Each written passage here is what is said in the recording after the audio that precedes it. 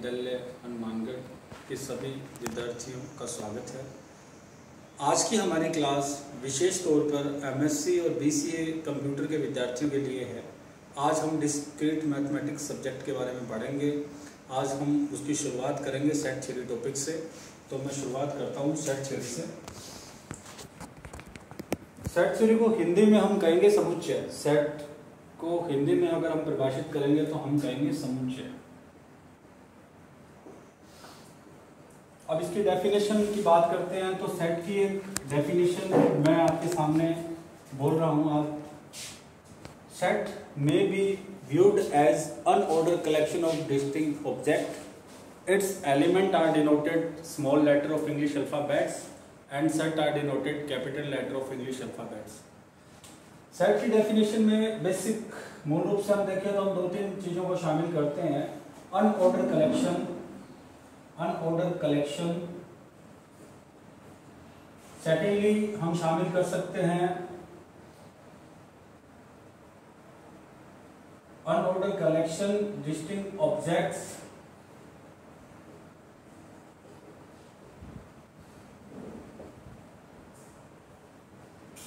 Set क्या है कि एक विभिन्न अवयवों का एक संग्रह है, जिसके अंदर क्रम मायने नहीं रखता तो हम कह सकते हैं कि set is unorder collection of distinct object its elements are denoted small letter of English alphabet जो सेट के जो सदस्य हैं, उनको हम small letter of English alphabet से डिनोटेड करते हैं और सेट को हम capital letter of English alphabet से डिनोटेड करते हैं। ये थी सेट की डेफिनेशन अब हम सेट को रिप्रेजेंट कैसे करते हैं सेट को निरूपित कैसे करते हैं, इसके बारे में थोड़ा सा देखेंगे। There are two type of representation of set यहाँ सेट को निरूपित करने के दो तरीके हैं। फ़र्स्ट जिसको हम बोलते हैं table form form second table form को हम रोस्टर मेथड भी बोलते हैं। मेथड सेकंड हम रूल फॉर्म और रूल फॉर्म में हम लिख सकते हैं। जो टेबल फॉर्म है, उसमें हम इस प्रकार से एलिमेंट्स को टेबल के रूप में शो करते हैं। और रूल फॉर्म में हम किसी भी सेट को रूल के रूप में लिखते हैं। एक्स इज़ एन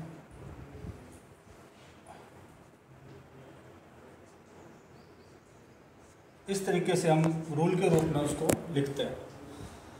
तो ये थी डेफिनेशन सेट की।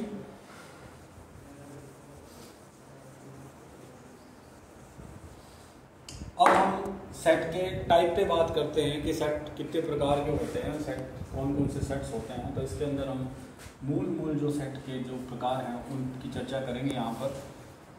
सबसे पहले हम बोलेंगे सिंगलेशन सेट सिंगलेशन सेट या सिंगल सेट, एक ही बात है। When only one element consist then set are single जब किसी समुच्चय में केवल एक ही सदस्य विद्यमान हो तो हम उसको सिंगल सेट या सिंगलेशन सेट बोलेंगे। मान लीजिए कोई सेट है और उसके अंदर केवल एक ही मेंबर है तो हम उसको सिंगलेशन सेट या सिंगल सेट बोलेंगे। सेकंड हम बात करते हैं पावर सेट की।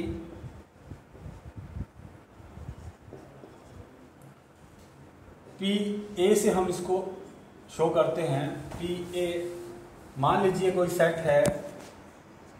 ए कोई सेट है। वन टू थ्री इसके एलिमेंट्स हैं। तो इसकी पावर हो जाएगी टू की पावर थ्री टोटल इससे आठ एलिमेंट बनेंगे। और इसी प्रकार से जो तीसरा जो इसका टाइप है, वो है empty set when set are no element then set called empty जब किसी सेट के अंदर कोई भी सदस्य विद्यमान नहीं रहेगा तो वो सेट क्या कहलाएगा? एम्पटी सेट बोल सकते हैं नल समुच्चय भी इसको बोलते हैं, रिक्त समुच्चय भी इसको हिंदी में बोलते हैं। जब किसी सेट के अंदर कोई सदस्य विद्यमान नहीं है तो वह रिक्त समुच्चय या एम्पटी सेट कहलाता है। अब दो सिमिलर प्रकार के टाइप हैं। एक का नाम है इक्वल इक्वल सेट, और सेकंड है इक्वलेंट। इक्वल को हम समानता बोलते हैं और इक्वलेंट को हम तुल्यता बोलते हैं। मान लीजिए कोई दो सेट हैं। पहला सेट ए है। इसके चार सदस्य हैं। One two three four second set B है। इसके भी चार सदस्य हैं। ए बी सी डी तो हम ये कह सकते हैं कि ए इक्वल बी हम ये कह सकते हैं। बिल्कुल ये हम नहीं कह सकते क्योंकि ये सेट इसके समान नहीं है। केवल इनके सदस्यों की संख्या दोनों की चार चार है। लेकिन ये एलिमेंट इनके अलग हैं। इनके अंदर इंटीजर दिए हुए हैं, इसके अंदर अल्फ़ाबेटिकल एलिमेंट दिए हुए हैं तो इसलिए हम इसको इक्वल नहीं कह सकते, लेकिन हम इसको इक्वलेंट कह सकते हैं। इन दोनों सेट्स के अंदर सदस्यों की संख्या सेम है। तो हमारी डेफिनेशन भी इसी एग्ज़ाम्पल से बनती है। इक्वल सेट जब दो सेट्स के मध्य, जब दो समुच्चों के मध्य सभी सदस्य समान हो रूप से होते हैं, एक ही प्रजाति के होते हैं तो उनको हम इक्वल कहते हैं। और जब किन्हीं दो सेट्स के सभी एलिमेंट्स के नंबर बराबर होते हैं तो हम उसको इक्वल सेट कहते हैं। बेसिक बेसिक टाइप्स थे कुछ। आगे के लेसन्स में हम इसकी डिटेल से भी चर्चा करेंगे। अब हम सेट्स के कुछ बेसिक ऑपरेशन के बारे में बात करते हैं कि सेट्स के अंदर मूल रूप से कौन कौन से ऑपरेशन परफॉर्म होते हैं। जो बेसिक ऑपरेशन है, उसमें सबसे पहले union union of two sets क्या होता है जब हम दो सेट्स का यूनियन करते हैं, इसका साइन होता है यू से। मान लीजिए एक सेट है वन जिसके एलिमेंट है वन टू थ्री फोर और सेकंड सेट है बी इसके एलिमेंट है थ्री फोर फाइव सिक्स तो हम ए यूनियन बी करेंगे तो हम one two three four five और सिक्स हम दोनों सेट्स के सभी सभी सदस्य को लेंगे, किसी को हम रिपीट नहीं करेंगे।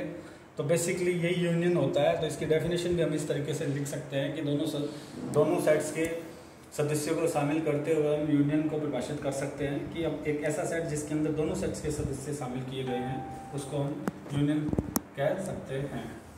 यूनियन से रिलेटेड ही सेम इसका विपरीत एक होता है इंटरसेक्शन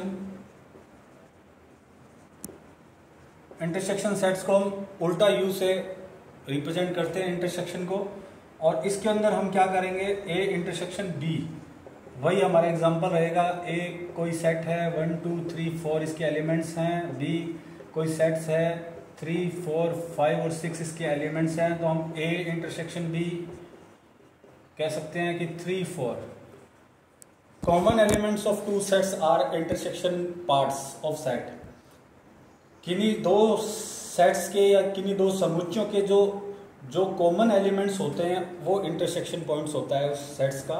तो इस तरीके से ये ये यूनियन था, ये इंटरसेक्शन था। और इसी के बाद एक टाइप्स आता है, जिसको हम बोलते हैं complementation of sets A C इस तरीके से उसको लिखते हैं। कॉम्प्लीमेंटेशन ऑफ़ सेट्स का क्या अर्थ होता है, ये मैं आपको बताता हूँ एग्ज़ाम्पल से। मान लीजिए कोई सेट है वन टू थ्री फोर इसके एलिमेंट्स हैं। यू हमें दिया हुआ है। यू का मतलब होता है यूनिवर्सल सेट्स यू हमें दिया हुआ है one two three four five six seven और एट ए कॉम्प्लीमेंट का मतलब होता है कि u माइनस ए ए को छोड़ते हुए समस्त क्लास के मेंबर तो यहाँ को ए को छोड़ते हुए फाइव सिक्स सेवन एट तो ये है कॉम्प्लीमेंट तो ये आज जो, आज की क्लास में जो हमने पढ़ा, हमने सेट्स के बारे में पढ़ा हमने उसके टाइप्स के बारे में पढ़ा और हमने उसके ऑपरेशंस के बारे में पढ़ा। धन्यवाद।